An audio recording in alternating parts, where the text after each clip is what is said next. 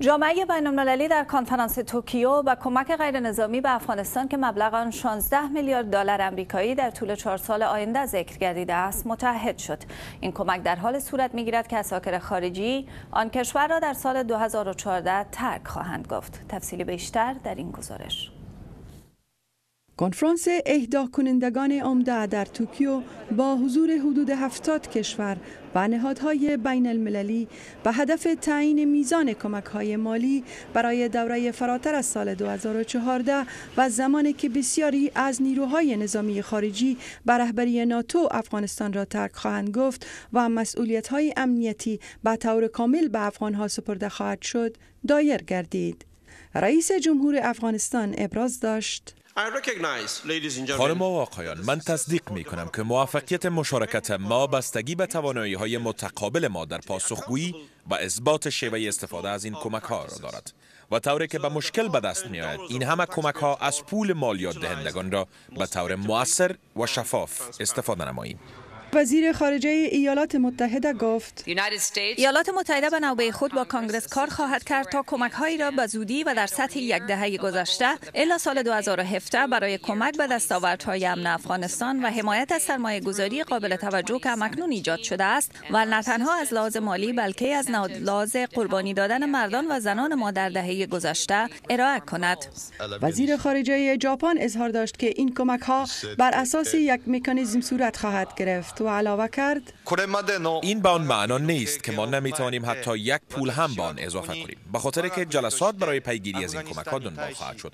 آقای زلمای رسول وزیر خارجه افغانستان ابراز نموده گفت هیچ کس در جامعه جهانی خواهان آن نیست که افغانستان به حالت قبلی و آن دوران تحریک که در آن مردم افغانستان از سوی دهشت افغانی بین المللی به گروگان گرفته شده بود بازگردد و با سوء استفاده از خاک و سوء رفتار علیه شهروندان کشور میدان دهشت افغانی گردیده و باعث فاجعه و باعث ایجاد فاجعه مثل 11 سپتامبر شد. وزیر خارجه ایران نظر خود را چنین بیان داشت.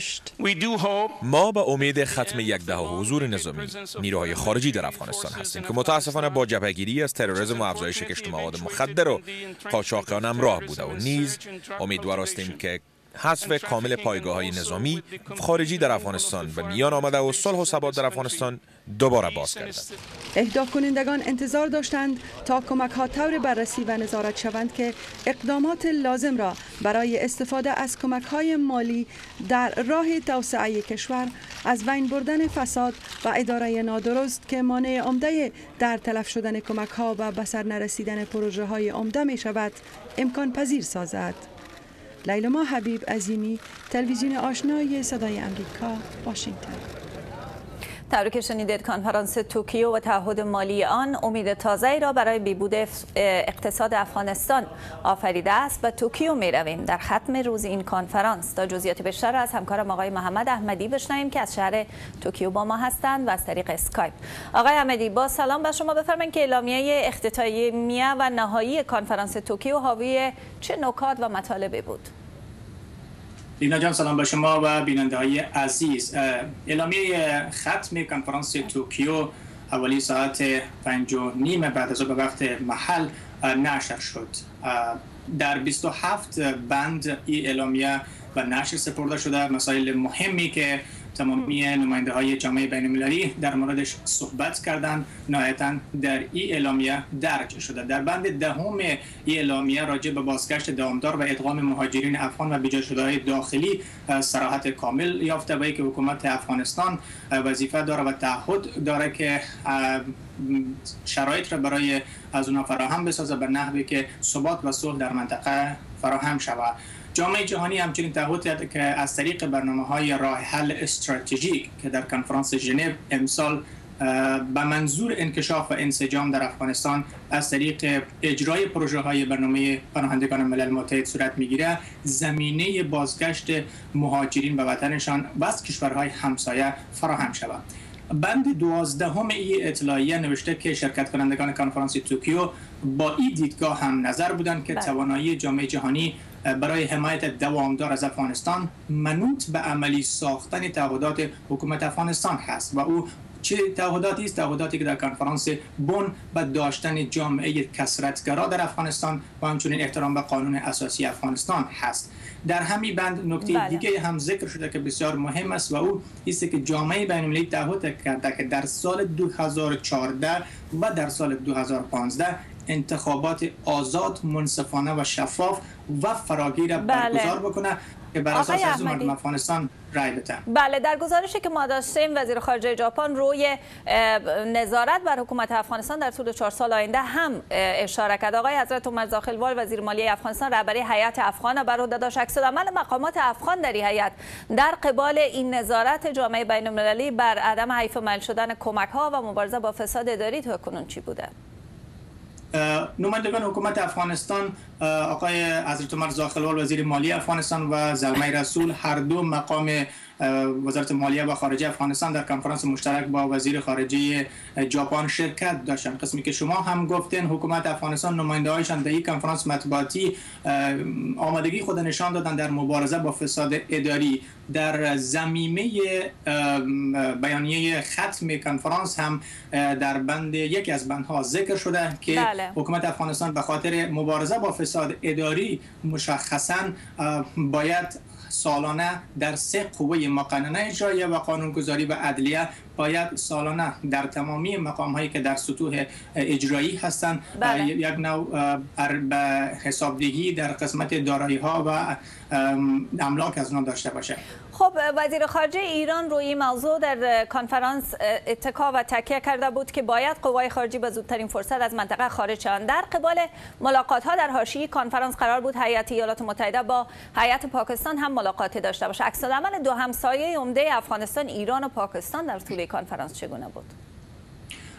نکته جالبی که ما در قسمت بیاناتی که اکثر نماینده های کشورهای عمده کمک کننده به افغانستان داشتن بله. دو کشور همسایه افغانستان ایران و پاکستان در بیاناتشان این یعنی وزرای خارجهشان صحبت های بسیار مشابه و متفاوتی داشتن که هر دو تاکید داشتن که باید کشورهایشان کمک های زیادی کرده ما در فرصتی در فرصتی که پیش آمد در حاشیه کنفرانس مصاحبه داشتیم با راین کراکر سفیر ایالات متحده آمریکا در کابل و خانم ورویر نماینده خاص وزارت خارجه در بخش جهانی زنان که تهیه هست. امیدوار هستم که او رو ببینیم امروز نمایندگان بیش از هفتاد کشور و سازمان راهکارهای جوابدهی را مشروط بر آن ترتیب نمودند که افغانستان حکومتداری سالم مدیریت مالی عملیه حراست از دموکراسی حاکمیت قانون و حقوق بشر و خصوص حقوق زنان را بهبود بخشد. راین کراکر سفیر ایالات متحده برای افغانستان می‌گوید جامعه بین المللی و حکومت افغانستان در زمینه اقدامات متقابل را روی دست گرفتند. Uh, یک سلسله اقدامات متقابل که مسئولیت را برای هر دو طرف حکومت افغانستان و جامعه بین المللی با شمول مبارزه با فساد اداری متحد گردیده است. اما این یک اجندای افغانی می باشد رئیس جمهور کرزی روی آن از زمانی که از کنفرانس شیکاگو که وی با حمایت خوب بین المللی برگشت روشن بوده است. حال آنچه وی و سایر مقامات افغان نیاز دارند این است که روی تقویه نهادهای داخلی کار کند. که علیه فساد اداری مبارزه می کنند و اداره بهتری را فراهم کند. زیرا این در کنار یک اجندای بین المللی یک اجندای افغانی نیز است. خانم ملنی ویرویر نماینده خاص وزارت خارجه ایالات متحده در امور زنان نیز روی این موضوع تاکید ورزید که حکومت داری سالم حساس کمک ها در افغانستان است. پیام این کنفرانس این بود که ما جامعه جهانی کمک های خود را به افغانستان تجدید می کنیم. تعداد کثیری از ما امدادهای خود را در بخش انکشاف افزایش می بخشیم. در بخش صحت، در بخش معارف، برای مبارزه با فساد اداری، برای حمایت از جامعه مدنی، برای ترویج پروسه صلح ولی ما در عوض می خواهیم که حکومت افغانستان نیز وظیفه خود را به شکل درست ایفا کند که در تمام پیام های این کنفرانس بلند و رسا نهفته بود. ژاپن دومین اعانه دهنده بزرگ برای افغانستان می گوید که تا سال 2016 بیش از 30 میلیارد دلار به افغانستان مساعدت خواهد کرد. ما نمی خواهیم شاهد آن باشیم که پول کمک به طریق نادرست مصرف گردد از یک طرف ما می خواهیم اطمینان حاصل کنیم که پول کمک در سراسر افغانستان پخش گردد از سوی دیگر آرزو داریم که حکومتداری و حقوق بشر بهبود یابد و فساد اداری در حکومت کاهش یابد با گفته آقای توکوفومی تفاوت عمده این کنفرانس با کنفرانس های اخیر روی افغانستان این است که در نشست توکیو سی نماینده از سازمان های جامعه مدنی افغانستان شرکت نموده و ایان دهندگان و حکومت افغانستان به بهبود حکومتداری متقابلا متعهد گردیدند. برشنا و مرخیل تلویزیون آشنای صدای امریکا واشنگتن. آقای احمدی ممنون از تفصیلی که را دادین. منتظر گزارش های بعدی شما در رادیو آشنای صدای امریکا باقی میمانیم. تشکر از شما.